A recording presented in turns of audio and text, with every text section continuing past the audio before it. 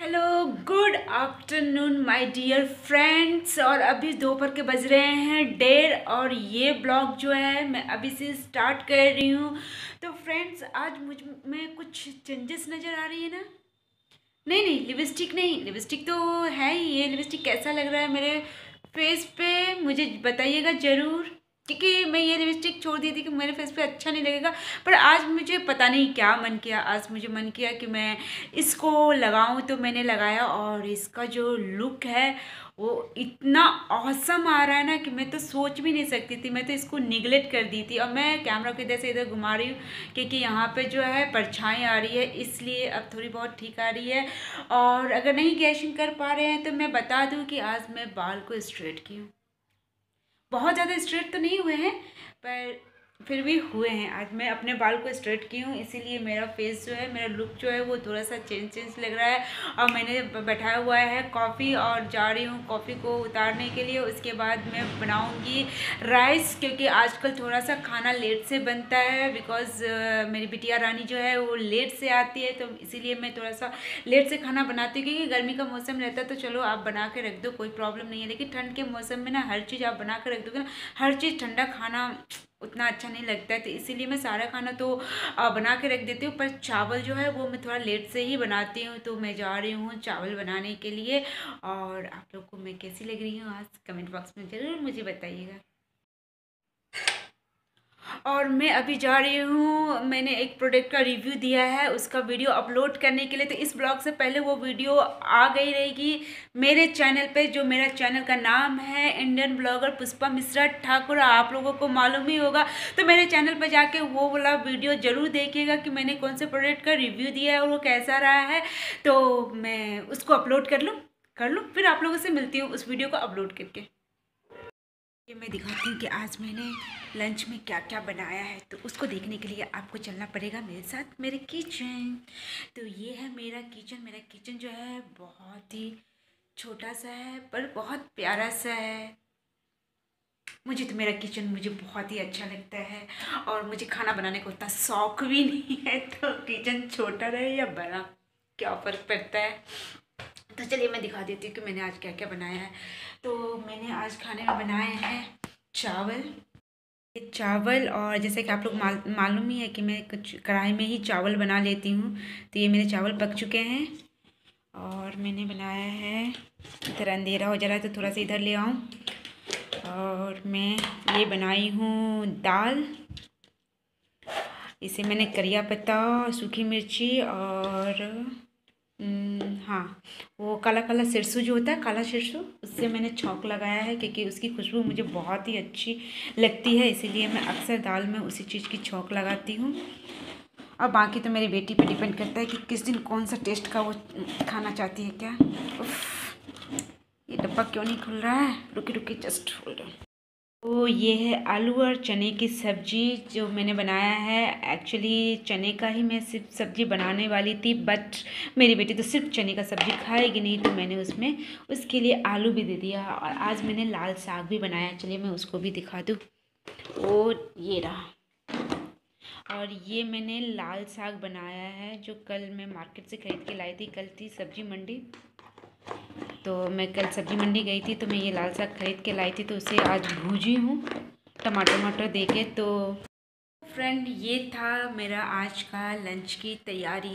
तो खाना तो बहुत लजीज है, पर अभी वेट करना पड़ेगा मुझे खाने के लिए बिकॉज़ आएगी मेरी बेटी। उसके बाद ही मैं खाना खाऊँगी, क्योंकि एक हैबिट सी हो गया उसके साथ खाने का तो उससे पहले खाने का मन ही नहीं करता है।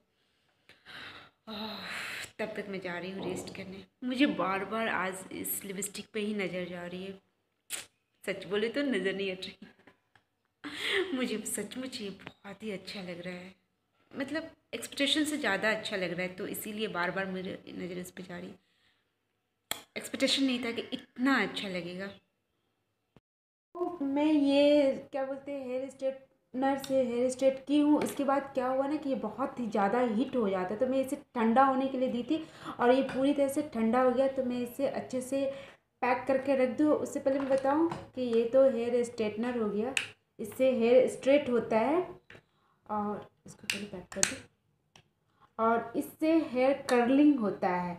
तो वो नहीं की हूँ, मैं जिस दिन वो भी करूँगी, उस दिन फिर बताऊँगी और इसका मैं रिव्यू नहीं दी हूँ क्योंकि मैं जब हेयर स्ट्रेट कर रही थी, तब मैं इसका रिव्यू नहीं कर पाई हूँ। लेकिन इसका भी मैं रिव्यू ज़रूर दूँगी। Next time next blog video में, इस वीडियो में तो नहीं दूँगी, ये मेरा ब्लॉग है। तो इसका मैं अलग से एक पर्सनल वीडियो बनाना चाहती हूँ, इसलिए मैंने ब्लॉग में इसका रिव्यू नहीं दिया है। रख दूँ इसे। क्योंकि मिस्ट्री आएगी तो फिर वो अलग ही तांडव करना शुरू कर देगी, वो फिर अपना हेयर को टूँ टूँ करना शुरू कर देगी। और पता चलेगा करते करते तोड़ भी दी है।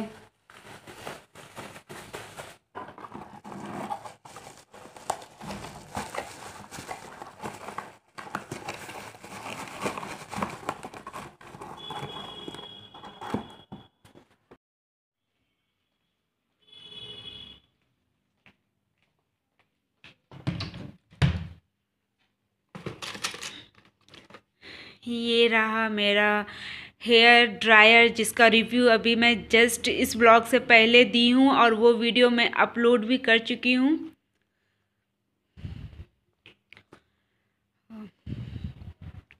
अच्छा है।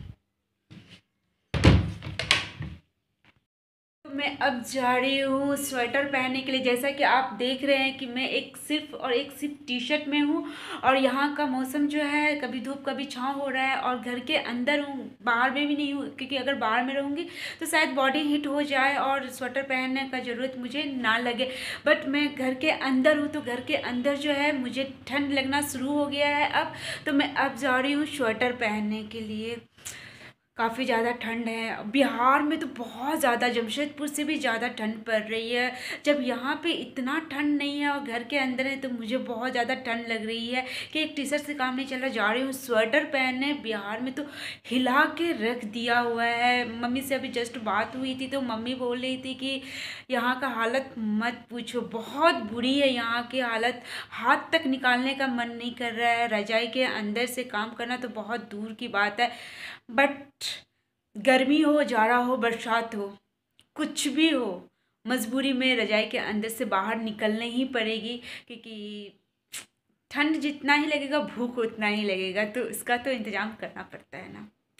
मुझे भी सुबह सुबह बहुत ठंड लगती है और मुझे भी काम करते हुए खासकर जब आप पानी छूते हो ना, सुबह सुबह टंकी का पानी स्टॉक में जो पानी रहता है ना, उसको छूते ही देरी ना मतलब करंट जैसे करंट नहीं लगता, उस तरह का झटका लगता है। सुबह सुबह जब ठंडा पानी छुएगा तो मैं जब सुबह सुबह किचन में कुछ काम, कुछ क्या जाती हूँ टिफ़िन उफिन बनाने के लिए, काम करने के लिए तो जैसे ही नल खोलती हूँ ना, अंदर से आत्मा जो हिलना शुरू हो जाता पानी में हाथ जैसे देती हूँ तो एकदम करंट की तरह ज़ोर का झटका लगता है मुझे। मुझे तो लगता है बहुत ज़्यादा ठंड लगती है, पता नहीं क्यों मुझे इतना ज़्यादा ठंड लगता है। आई थिंक ठंड है इतना, इसीलिए मुझे लगता है। एक बात है, आप अगर हेयर स्ट्रेट करवाइए ना तो कभी कभी आपका बाल जो है ना, वो क्रूर सिंह की तरह यहाँ पे खड़े हो जाएँगे। क्रूर सिंह एक सीरियल देता था, चंद्रकांता में एक कैरेक्टर का नाम था क्रूर सिंह। सचमुच उसका करेक्टर पर क्रूर जैसा ही था और शकल और हेयर स्टाइल जितना भी उसका मेकअप था ना, वो सब क्रूर जैसा ही लगता था। तो उसी तरह कभी कभी ना, ठंड के मौसम में जब हेयर स्ट्रेट कीजिए तो यहाँ पे छोटा छोटा बाल जो है बड़ा बाल नहीं छोटा छोटा बाल जो है ना, क्रूर सिंह की तरह ऐसे खड़े हो जाते ऐसे जस्ट खड़े हो जाते हैं, देखिए देखिए यहाँ पे, देखिएगा, खड़े हो जाना। तो ये थोड़ी सी स्ट्रेट बाल की थोड़ी सी डिमेरिड है। मुझे थोड़ी सी वो जो खड़े हो जाते ना तो बहुत अजीब गरीब सा लगता है। और मैं आई थी अभी सोने के लिए बट अब अभी नहीं सो पाऊँगी क्योंकि बज रहे हैं शाम के चार। और चार बजे मैं बेड पे आई सोने के लिए, चार बजे अगर मैं सोती हूँ तो प्रॉब्लम ये होगी कि फिर शाम को ज़्यादा लेट से उठूँगी और फिर रात को नींद नहीं आएगी, फिर रात को ज़्यादा लेट से नींद आएगी तो फिर सुबह उठने में प्रॉब्लम होगी। तो इसीलिए मैं अभी बिल्कुल नहीं सोऊँगी, वैसे तो नींद आ रही है बट सोऊँगी नहीं। और ठंड के मौसम में प्रॉब्लम क्या होता है ना कि अगर बेड पे आ जाते हैं और ब्लैंकेट ओढ़ लेते हैं मेरे जैसे तो फिर आना शुरू हो जाती है तो मैं कुछ करना चाहती हूँ, मैं जा रही हूँ, कुछ करूँगी। हाँ मैं जा रही हूँ नेल पेंट अपने नेल्स पे लगाने के लिए, क्योंकि मैंने नेल्स पे से नेल पेंट जो थोड़ी बहुत गंदे दिख रहे थे, उसे हटा दिया है। अब अच्छे से नेल पेंट लगाऊँगी और इस बार मैं नेल पेंट जो है ना, मैं घर में ही लगाती हूँ। और इस बार जो मैं नेल पेंट है ना अलग अलग फिंगर में अलग अलग कलर लगाऊँगी, जितनी फिंगर उतनी कलर लगाऊँगी। थोड़ी सी अजूबा कभी कभी बनना भी चाहिए। हमेशा डिसेंट रहने का मज़ा क्या होता है? हमेशा डिसेंट रहते हो कभी कभी सतरंगी, अतरंगी बनने में भी मज़ा आता है। मुझे तो बहुत मज़ा आता है। आप लोग को?